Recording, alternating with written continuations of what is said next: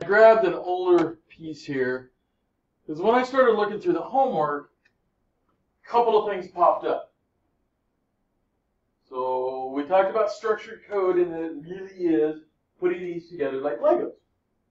And when I started looking at a lot of the people's submissions for how to play a child's game or how to check out something, I started seeing something a little different.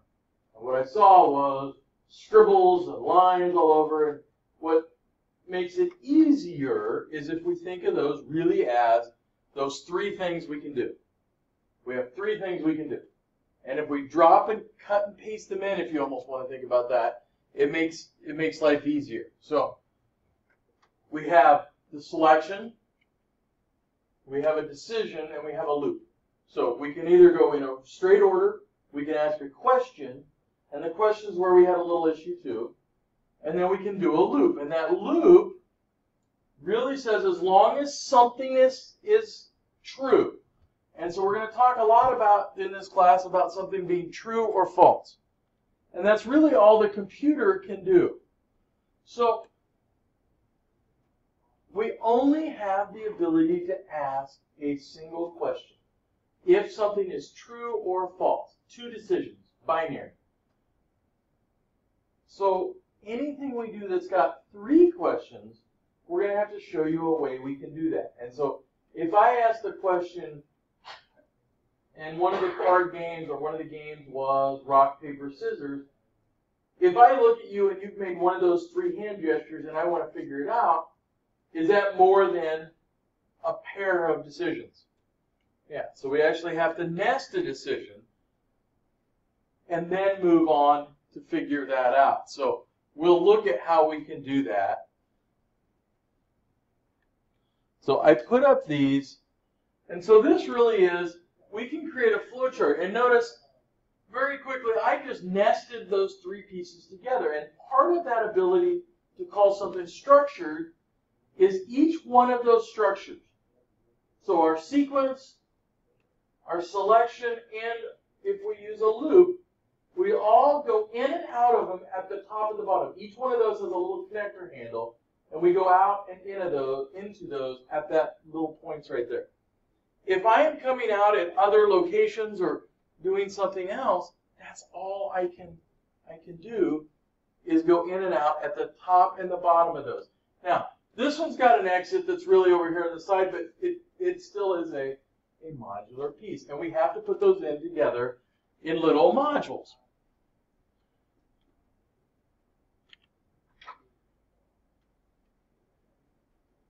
So if I do some of these as little loops, and we're going to talk today, we're going to talk today about using something called a module to make our lives easier. But we can take very simple tasks and we can put them off in their own little modules. So after today, you're going to learn some new techniques. But we really need to figure out how to break these into structured code. So the other piece I have in your Blackboard, if I can get back to it, is there is some samples.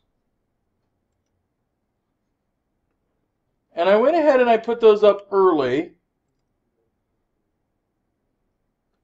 Open, some point. And so those samples have both a pseudocode and they also have a flowchart that goes with it. So the first one is really no nothing more than trying to find a word in a dictionary. Well, you all know how to do that, right? Just like you know how to play those games. But how do I break it down into those steps? And these are the same steps your brain is doing when you look up something in the in the dictionary. And so, well, the first thing we have to do, open the dictionary. How many times have your parents said that to you? Well, you can't get the answer unless you open the book. Well, here we're opening the book. That is a which which one of our three is that? Opening the book. What what part of the structure is that? Are we asking a question? Hmm. Are we doing a loop? So what does that leave it to be then? We have three different parts. That's all we have in the entire class. Three different things. We have a sequence, we have a selection, and we have a loop. Those are the only three things we're all the way through the semester. That's all we're going to talk about are those three things. So which one is the first step? A selection. Is it? Or is it a sequence? Could I have multiple steps up in there? Could I say, pick the book off the shelf, put the book on your desk? Those things that occur in a specific order are a, not a selection, they're a sequence. They have to be in a sequence. And even if it's only one item, that's still a sequence. It doesn't fit the other two criteria. So then we ask that question. You've opened that dictionary. It didn't say where. And you've asked the question. So now we say, is the item that you're looking for on that page? If it is, what happens to our program? Are we done? We're out. On the other hand, we then ask a question if you if the word not on the page. And notice how we sometimes do these nots and things in here. So you have to think about the logic of how we phrase that. So word is not on the page. So in other words, we don't have the right word, so we go into now we go into another another selection. And that selection is really the start of a loop, isn't it? So is that a while loop? So while the word not on the page. So that's our loop control right there, isn't it? So as long as we don't have the right word, that loop is going to continue. It leads us into this selection here. So word greater than last word on page. Well, we know how to do that. So if you have a word that starts with M and you're on page D, you know that you have to go forward, right? So that's all you're doing here, or going backwards. Because if I don't have, we know that's not on our page. So I either have to go forwards or backwards to find it. And so this lets us do that. So here it says, all right, we're going to turn one page. It comes back up to the top of that loop, and we, we do it again until we find the right page. Do we know how many times that loop's going to run? We don't have any clue. Depending on how good your guess was when you first opened that dictionary, you may be right on it, or you may be flipping that page a thousand times to get to it. That computer doesn't care. Your brain doesn't care when you do this. Now, in your brain, what do you do? You shortcut and say, hey, I need to go to D and I know I'm on page Z, and I'll flip back a whole stack of pages. But the reality is you're doing exactly the same thing. So if we look at the pseudocode, pseudocode doesn't look that much different. We, we open the dictionary, while word not on page. So that's the start of our loop. And then our block, everything to the right of that, if word greater than last word on page, we turn the page forward, else we turn the page backwards. So a decision is an if-then. So if something is true, then we do step A. Else, in other words, if it's false, we do step B. So we can make a decision. Here we have a pseudocode. So this one is very similar to one of the problems that you have in your book that you had for this assignment.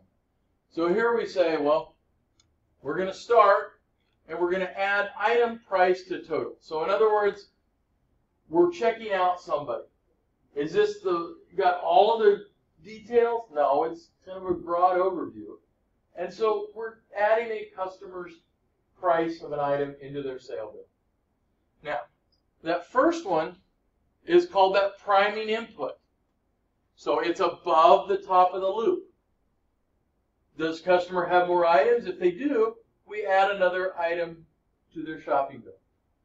And what I saw when some people did theirs, they were able to check out one item. Now, that would save you a lot of money at the grocery store if you were only able to buy one thing, right? But it's going to be a little inconvenient when you're trying to make a meal and you've got 10 items you want to buy. This shows you how we can create that idea that we can add multiple items. And it's a simple loop that we do that. What I also saw when people did loops is they forgot the priming input. And I know that's weird. That's probably the weirdest thing we're going to do all semester. Whenever we have a loop and we make a decision like that, we need to get that at the above the loop, and then we need to do it in the loop. Otherwise, it doesn't change anything. So, customers still have more items? Nope, they're done now. So then we ask a really quick question. We go down to just a selection. Does the customer have a coupon? If no, notice it exits down to display the total for the customer. Otherwise, otherwise we subtract their total. So we've asked a question, does customer have a coupon? Now we're saying, are they paying cash or credit card? And so notice we, if they're paying cash, we take their cash. Here we have a loop to give them their change. Accept the change. Customer needs change. Give the change. Or we accept a credit card. Now there's a lot of other things. Do we ask if they want cash back in here anywhere? No. And so there's a lot of those things we don't. We, It's a pretty simple model. But that's really what we're looking for now, is to break those processes down and start thinking about how that works. And how we can translate from that pseudocode and a flowchart back and forth. So depending on the business model, so some businesses, we use these flowcharts all the time to describe how we interact with customers, how we interact with internal employees.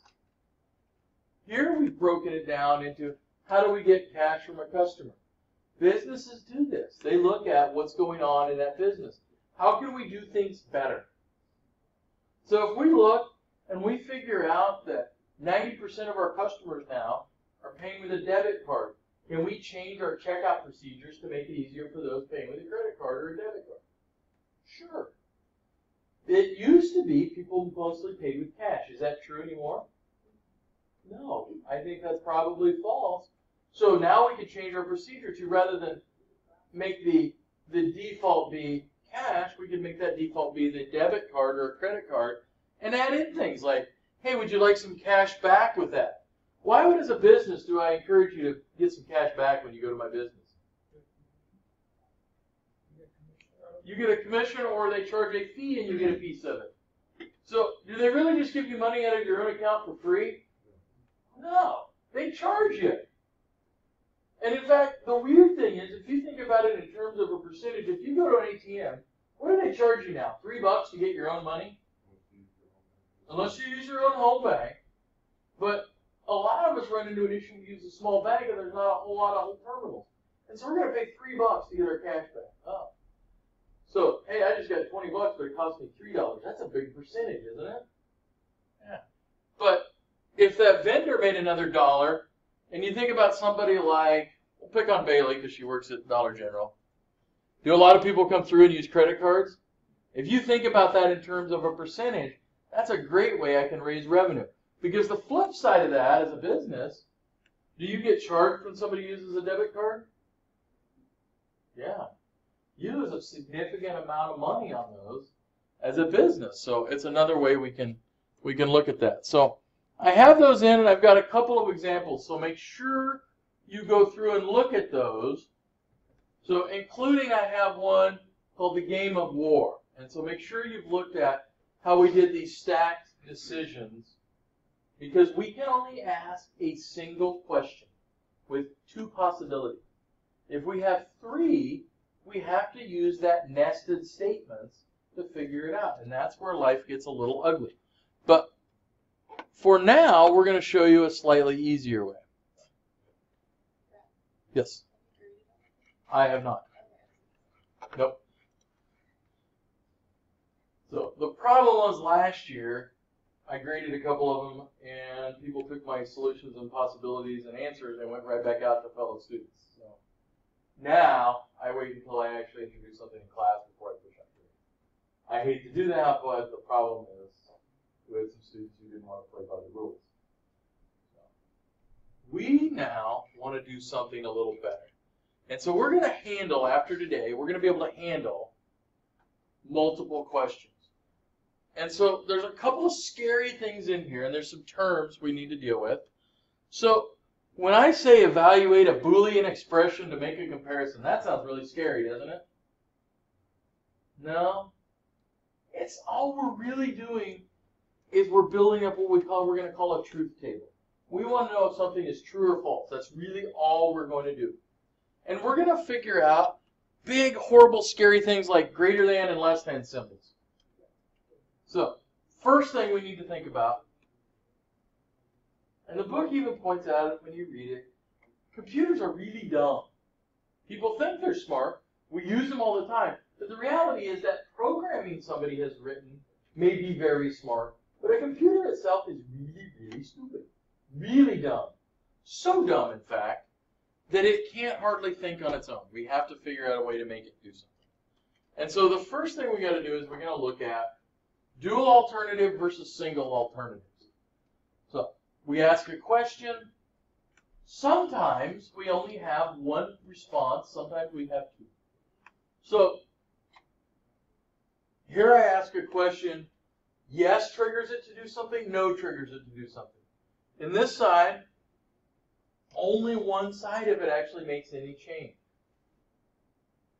Not a big difference, but it does have a little bit of difference in how we write things out. So, dual alternative is called an if then else. If then else. So, if something is true, then we do action A, else we do something else. So think about that. We get up in the morning and we look at the thermometer. If the thermometer is greater than 75 degrees, we wear shorts, else we wear pants, right? Does that make sense? So if then else. A single alternative then, a single alternative, let's think about that. In the morning, if it's past 8 o'clock, I put on pants. I didn't have that else piece. I just had, if it's past 8 o'clock, we put on pants. Otherwise, we don't change our condition at all. We don't know if we're already wearing pants. Who knows? We're just saying at one action. So if then. There's not a lot of difference to them, but it's a little bit of a subtlety we're going to run into a couple of times. So, overtime. Does everybody like overtime? Yeah. yeah. That's the best part about working is overtime. So this program says, here's how we're going to check if our overtime, if we're going to use overtime pay or not. So what do we make on overtime? Time and a half at least. Some union people make even more than that. So depending on where you're at. So, but we're going to assume, we're going to assume that 40 hours is overtime. So here we come down our statement, we have all our details, and we say, our hours worked greater than hours in a week? If not, you get your hours worked times pay rate. If yes, you get hours in week plus hours worked minus hours in the work week. So you get that portion over 40 hours, and you get that at time and a half. Great. So here's a quick question though. When I look at that, that makes sense, doesn't it? Seems to. If it's over 40 hours, we, we pay you overtime, else we don't. Why do I want to put hours in a week up there and set it equal to 40 instead of just putting 40 in there as a hard code? Why, why might I want to do that?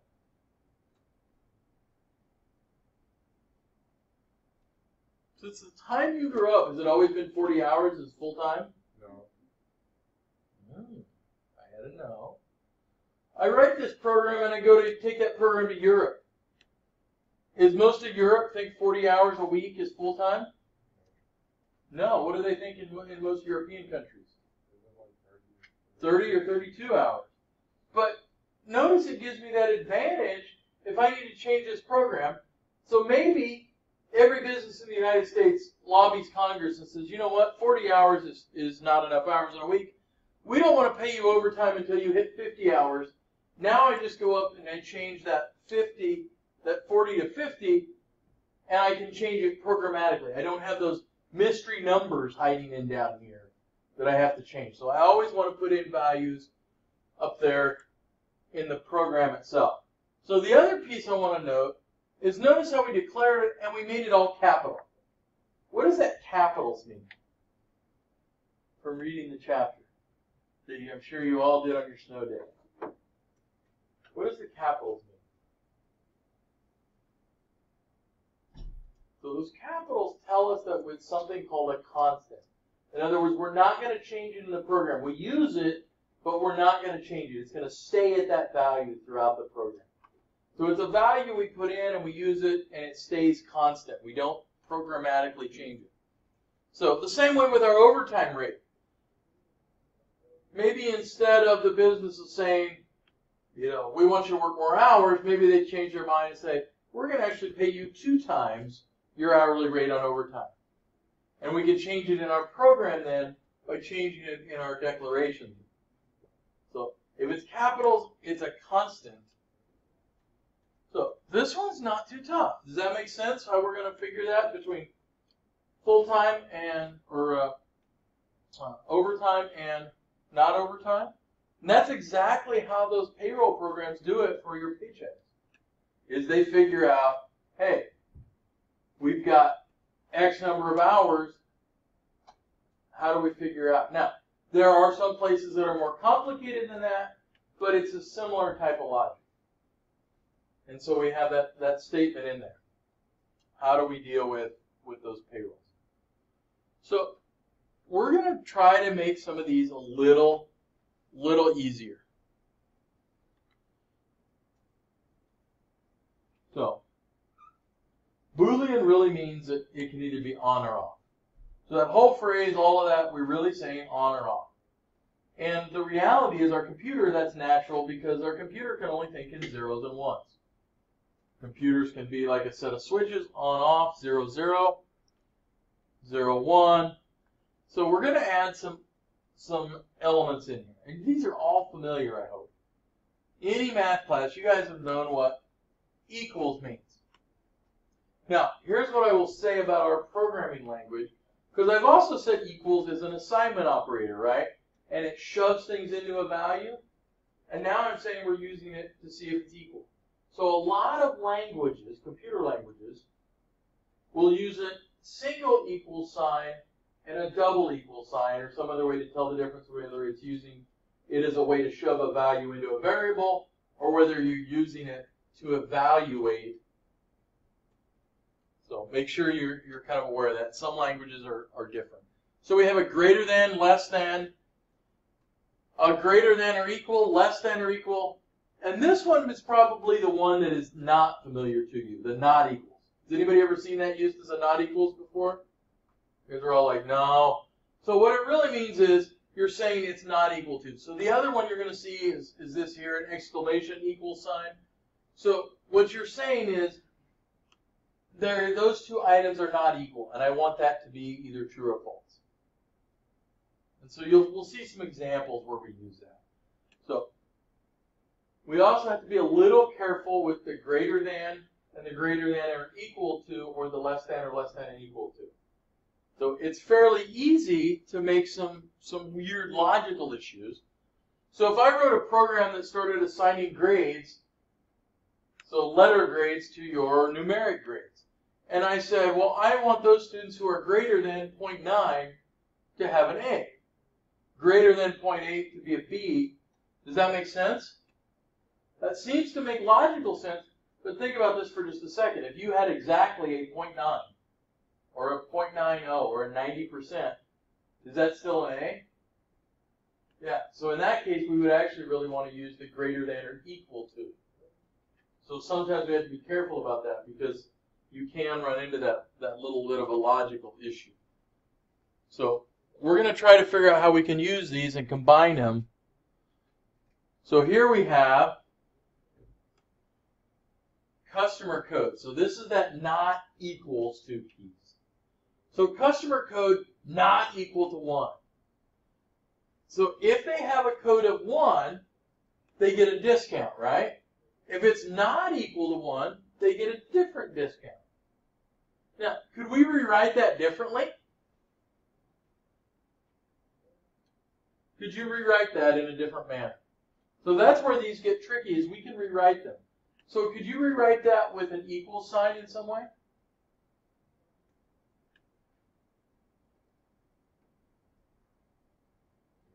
So right now, you're saying if their customer code is not equal to one. So let's envision, let's put our put your mind around this. So our customer comes in there and their customer code is four.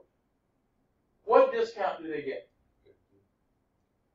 So let's think about that. Four is not equal to one, and that's true, right?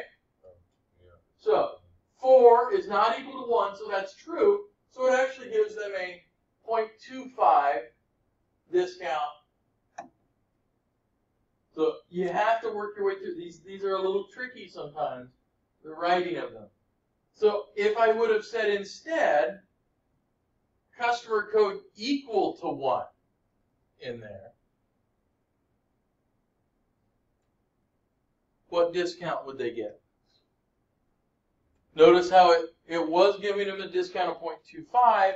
Now if I change that to customer code equal to 1, it should be on the other side. It should say, nope, that's not true. So sometimes we want to flip them around. You want to do that desk audit. You want to put numbers in and make sure that you're understanding that, that logic of how we're doing this. So this is the same thing, but notice what did we do in this between these two? So we changed it to customer code equals 1, but where what did we actually change in this thing? I changed, I flipped those discounts from one side to the other. So logically, and to the computer, those work exactly the same. Which one's easier for us to read and understand? The second one, the positive. We're used to positives. Think about all those tests you've taken, all those multiple choice tests, and when you always have those, this is not equal to these kinds of things when you start putting those nots, our brain sometimes takes a little harder jump to get to them.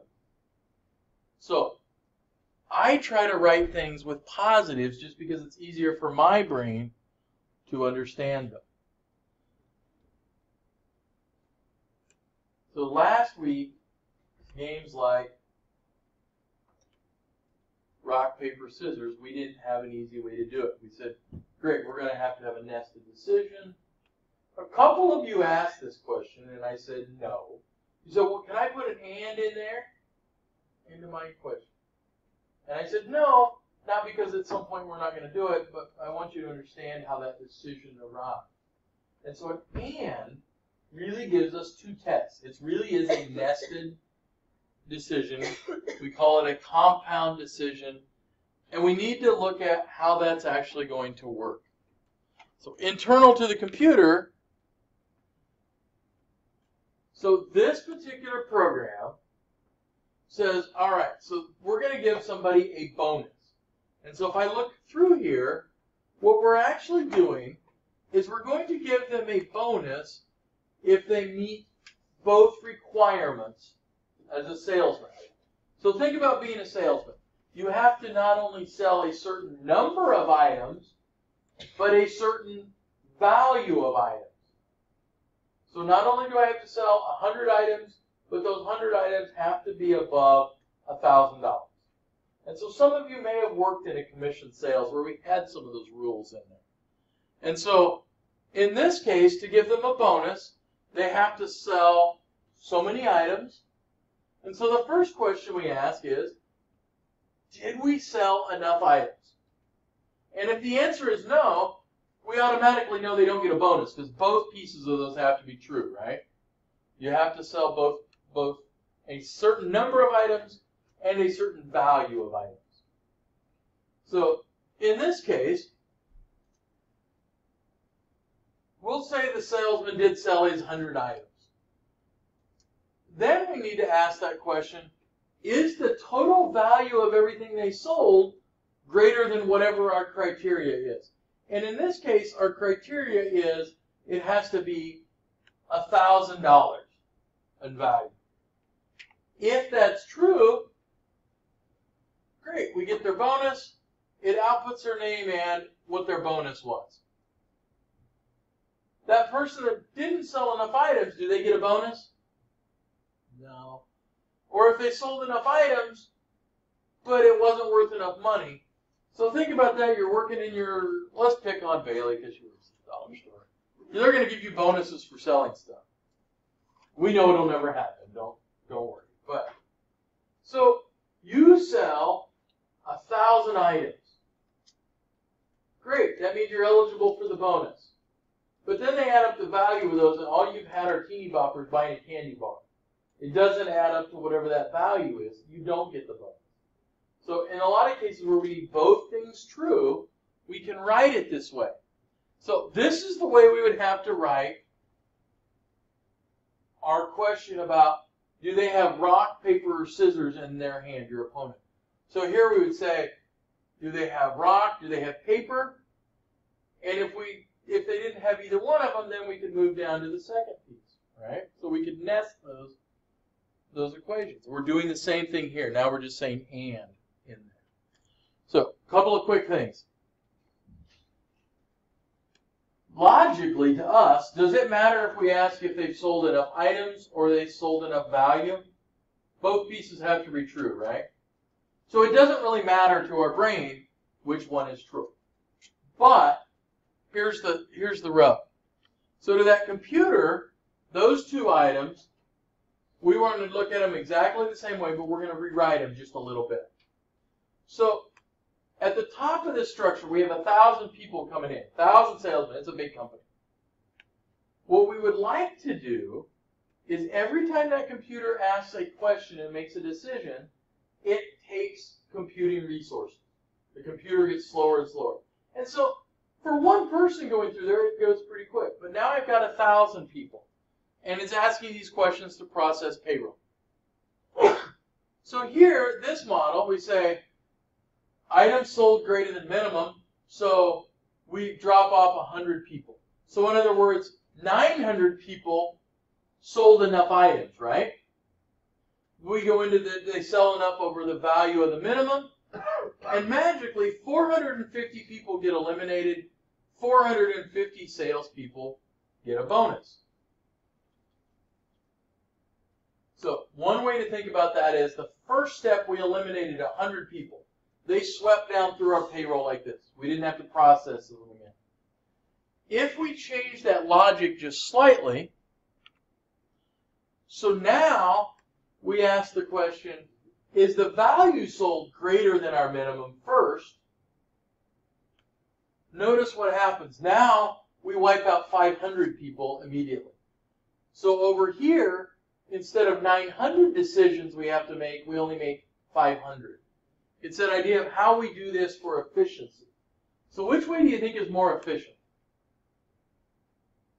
And the second one, by far, because we've eliminated about 500 decisions by doing that.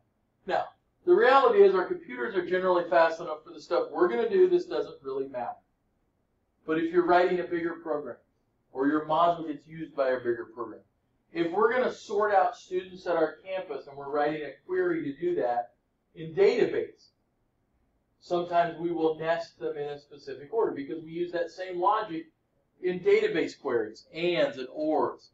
So anytime I can make it a little more efficient, so think about the IRS where they're processing 300 million tax forms. If you could make it where it had 300 million less computations, that would make that program significantly faster. So even for small things, sometimes these little bitty decisions make a lot of difference. So this morning, Bailey's dad's paycheck is getting processed right now. So we'll we'll pick on the city of Falls City just because I happen to be in there this morning. And they're going through a payroll process. So the city of Falls City has, what do you say, less than 100 people, Bailey? Probably. To process that payroll and go through all those calculations takes that server about five to six hours to process that. If we can make decisions quicker, you can make that process easier, that's a small town. So what if you had Peru, Peru who's got student workers, employees, and then the whole state college system? The bigger scale, those little little bit of efficiencies can help out quite a bit. So in a lot of cases, a lot of cases, we don't have any idea. And logically, it doesn't make any difference. Either way works. But sometimes we want to think about how we can do that for efficiencies. So the key, though, is this. If an, in an AND decision, ask the question that's least likely to be true first. In other words, it splits off the greatest number of people first.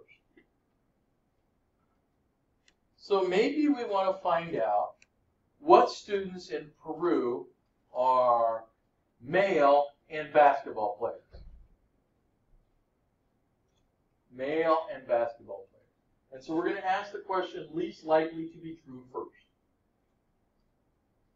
Do we have, if I ask the question, are you a basketball player or are you male? How, what percentage of our students are males? 63%, you think? Somewhere around maybe? Let's just make it easy. Let's go 50 50.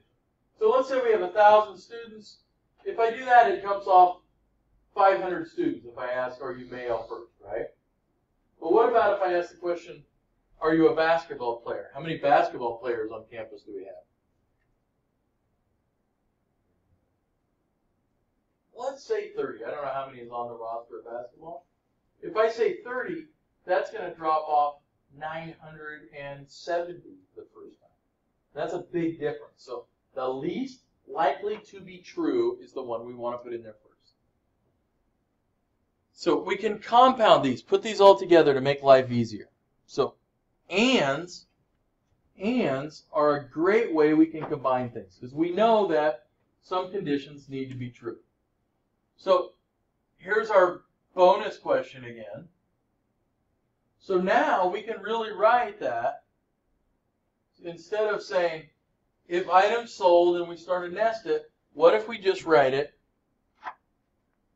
like this?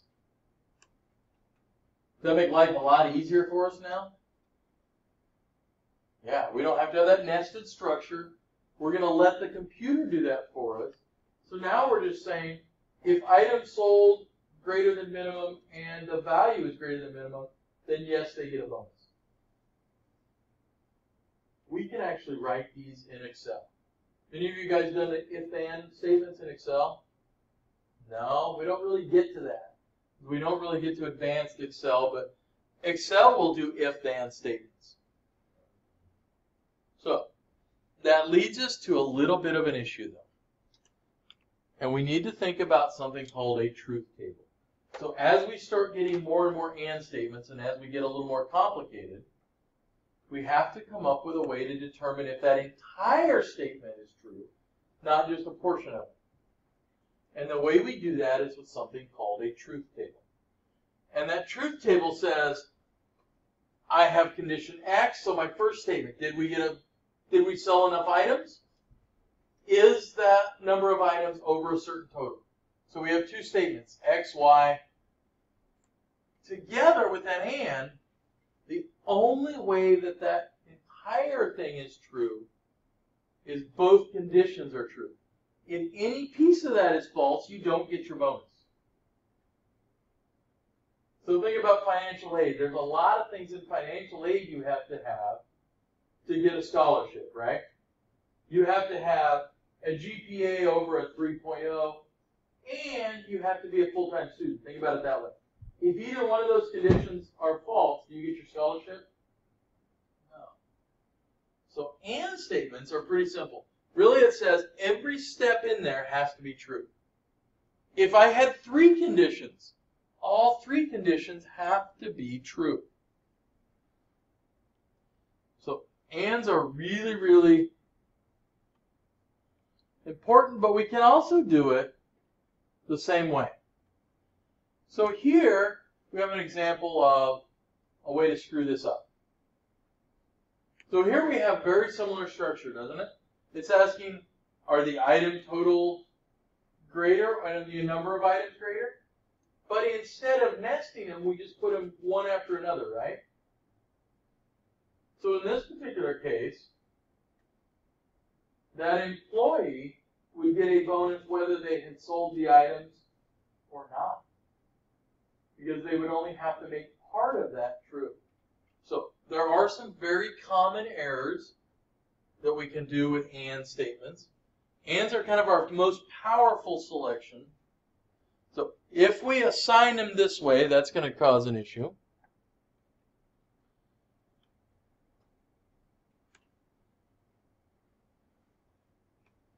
So one of the easy ways we do, here we have an if statement. So if minimum for bonus and less than or equal max for bonus, wait, what?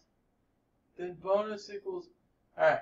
So here, we don't really have all the operands in there. So those parentheses, remember like we had to do in math so you could make sure you did everything correctly? Those parentheses come in really, really handy. So here it says very specifically, item sold greater than or equal than minimum for bonus. And, and we almost always capitalize those ands. items sold less than or equal max for bonus. Bonus equals given.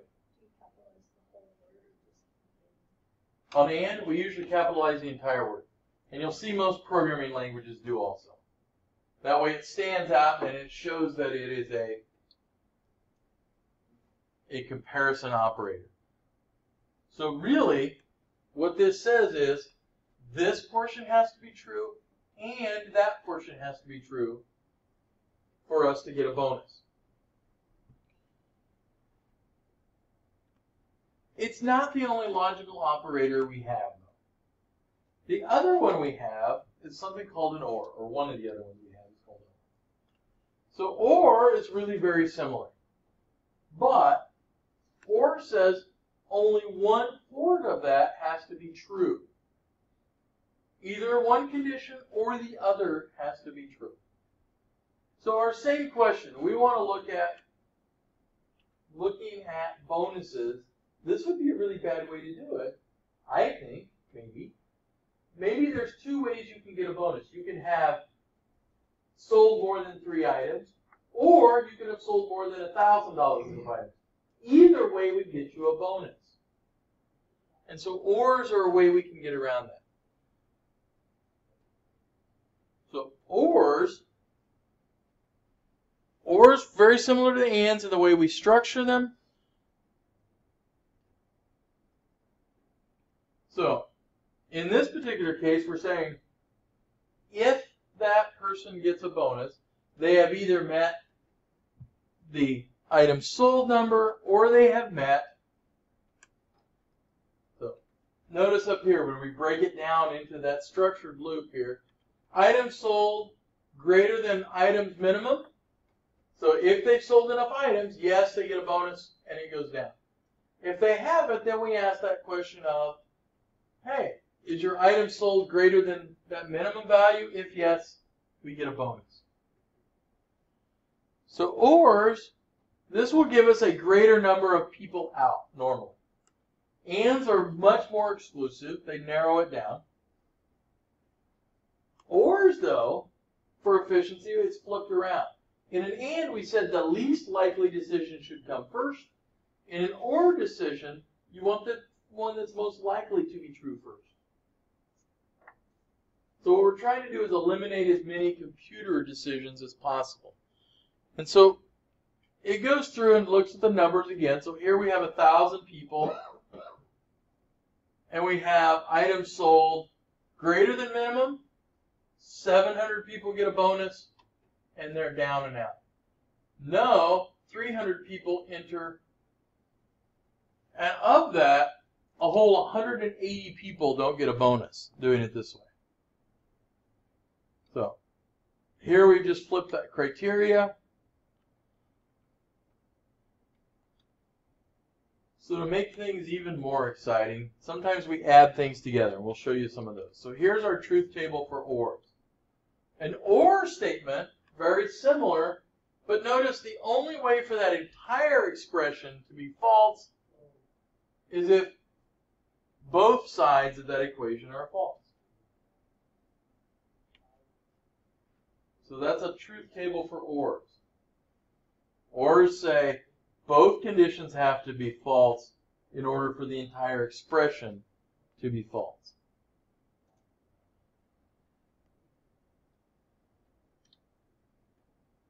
I'm going to jump ahead here because I know we're trying to get a lot of stuff in here. So, OR items. So here we have that same thing. We've broken it down from that nested structure to now we can say in one statement, if items sold greater than items minimum or their value sold greater than value minimum, they get a bonus. So we've just shortcutted ourselves. This is what they call an unstructured piece of that. So here we have the same logic, but we've tried to loop over to a bonus given, and we've made it unstructured by doing that. So that's what I saw a lot of in the homework. Sometimes we have to deal with logic errors. So here we say, you know what? We're going to be a movie theater. We're going to give away a discount. A lot of movie theaters do that, right? And they give away discounts based on age. So here we say we're going to give a discount based on if you're over 64 years old, I think, or 60, whatever it is. Or we're going to give you a bonus based on if you're under 13, a kid's rate. So we're going to come in here, and it says patron age equals or less than the minimum age and greater than the max age. Whoa, wait a minute. Let's think about that. Look how we're writing it. We're saying the patron age is less than minimum age and it's greater than. Can you be both at the same time? No. If, if you could, that would be great, but then you get a double discount. But it's hard to be 12 and over 64. So this way, we've written it, you could never have that condition be true. And that happens all the time. People think what they're writing made sense. What we really wanted there was an or statement. If patronage less than minimum age, or their patronage is greater than max age, then they get a discount. So look through, because it's really easy to write ones. So here we have the same question. Patronage greater than minimum age or patronage less than max age? And so notice here what we've done. Here what we've done is we've made it where everybody is in that group. So again, we made a logical error and so you need to work through some of these when you start writing them down. Because it's easy to do this. You're starting to write stuff down and you go, man, I, I flipped around a sign or two and I, I made that. So here's what it would be correctly done. Patronage greater than minimum age and patronage less than max age, then price equals full price. Otherwise, they get a discount. So we took out everybody except those people between 13 and 64 and they, they had to pay a full price. So that kind of leads us to something to make life a little easier also. That idea of ranges. So we know that in a lot of cases data falls into a certain range. So grades are a great example of that. When I look at grades, I look at it in this way. So it's a waterfall.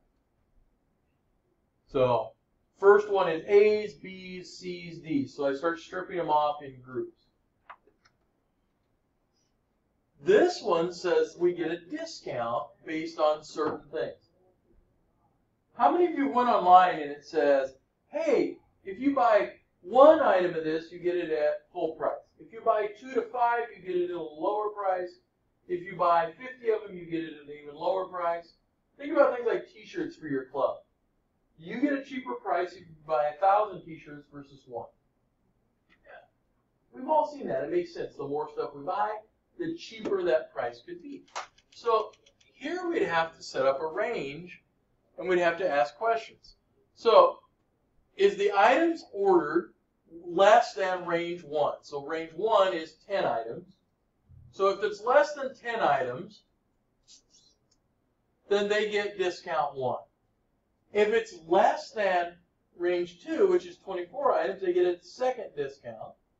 And if it's range 3, then they get customer discount 3. Does that make sense? We can start peeling them off in waterfall. So think about that said if, if grade greater than or equal to a 0.9, you get an A. Greater than or equal to a point B, you get a B. And that's really how we do some of those. We write them out and we strip them off. But most programming languages make life easier for us. So here's the, the pseudocode logic of that. So we can always do it that way. So in fact, when we get to Python, you'll see we even have an easier way to do it. But what we're really saying is, if the first one's true, then they get a discount. Else, and we can just notice inside of each else, we put another if statement. So we're nesting those things together. And so we'll, we'll show you that in Excel, because I don't think you guys have seen Excel yet, very powerful. So next week, we'll actually break out Excel to try to show you how we do some of these things. We're trying to break those ranges down into small enough pieces that we can do that. So, a couple of issues that fly up. You always have to do a path that makes sense. So if my first question, instead of starting with 9, 0.9 and going 0.9, 0.8, 0.7, 0.6, if I started at the top of that, I said 0.8. So everybody who's greater than a 0.8 gets an A, and then everybody that's we would end up with some really mixed up grades. Everybody who managed to get any grade in the class would get an A, right? I won't make that mistake. Yeah. Dang it, it would be good. So, those range checks, they have to be a range that's continuous. There are times we have to do them separately because maybe there's an exclusion range or something really weird. You see this all the time. Think about your power bill. You get your electric bill. That's a fun time of the month, isn't it? Getting the electric bill. Do we do is your is your electric bill based on the amount of electricity you use? Do you get a discount if you use more at some point? Do you have to use a lot? And there's different tiers in there. So if we don't need to ask the question, if we already know that, or we have an unreachable place we're going to ask, don't ask. Why do it? Why do it? So here we say, here's a decision that can never be false. So if it's never going to be false, why ask that question? Why make your computer spin that? And again, if it's one program and one item, that probably doesn't make a whole lot of difference. But if you're processing thousands of those, your NPPD processing thousands upon thousands upon thousands of bills, it's going to make a difference in that. So, inefficiency, we want to try.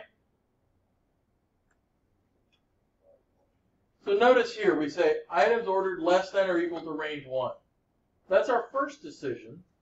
And we strip out everybody on a customer discount.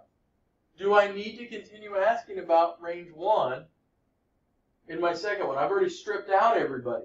I'm asking the same question again. And we don't need to. It's just extra processing cycles. Well, here we have the same thing but shown in the pseudocode. So we can combine them as many times as you want. Here's the one catch on that. And operators. So this is something new that you have not ran into yet.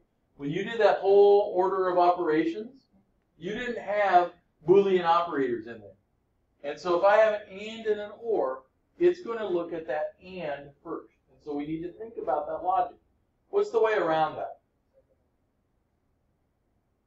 these things? Parentheses. If I need to process it differently, I can use parentheses to fix that and make life easier. Generally, I'm going to tell you, if you have multiple and multiple steps, you probably want to break it down a little bit because your logic can get ugly. So you can use parentheses or you can nest your if statements. So the precedence issue comes in Maybe we have something like this. So we're trying to determine about a movie discount.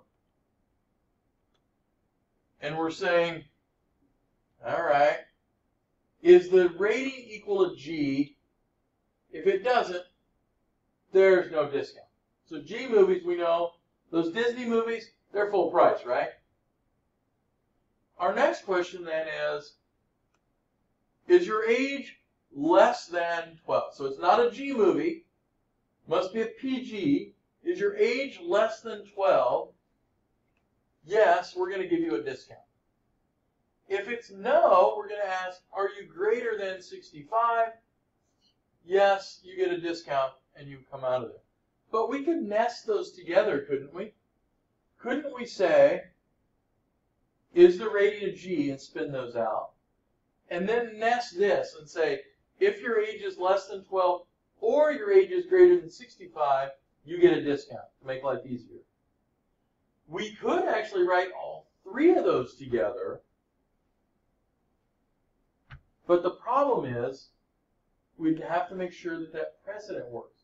And so sometimes it's easier to leave two separate questions. Those make sense to combine that discount. Probably doesn't make sense to add that that is the movie a G in there. So we're really working at the idea of how to combine how to combine things in a logical manner. So we can write those code. Come back. We'll do it that way. So there are several things in here you probably need. A, this is an interesting quirk in Blackboard.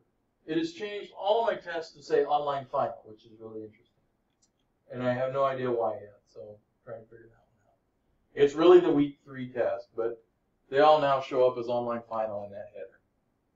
I apologize for that. It's kind of a weird quirk. So over chapter three, there's a test. Your homework this week, there are exercises A through N, and you get credit for those. And then there is an exercise. You do not need to write a flowchart, although it may help you to draw it out, quite frankly, on paper. And you are doing that, that's 13 points out of the 20 for the week, is doing that assignment. So you only have to do parts A and B. You do not need to do, I think there's C and, that we got a D section also? You do not need to do those. So ask questions, send questions. I will use the discussion board area. There is an instructor's corner in there if you have a question also. Make sure you've looked at that sample code for last week. I will shove out some possible solutions and suggestions on the assignments now that everybody's back and we're kind of back on schedule. Look at those. So for next week, next week, what do you think we need to read? Chapter 4. I know. I just want to make sure we're all on board there. We only read through chapter, is it 6 in this book? So we're almost done with this. We're about ready to get our hands dirty writing actual code. So next week, we're going to start showing you a little bit of that Python environment, which you're going to actually be writing code that looks very similar to the pseudocode. We need to break these problems down. All right. Any questions on the homework? All right. I put those samples out. I'll send out some more items for you. And then your homework, I will give you some grades. This first one, I will tell you, I am usually pretty easy on the idea of structured versus unstructured. What I'm looking for is you're starting to break down that problem, whether it's a business problem, a game, or whatever it is. And we base a lot of our class based around the idea of games. And in fact, almost all of our assignments through the book that we're going to use and some other ones are based on the idea of games. We all like games, right? Does anybody not like games? Cool. All right. All right, let's get out of here. Enjoy the snow, slip and slide. Try not to get stuck in your driveway.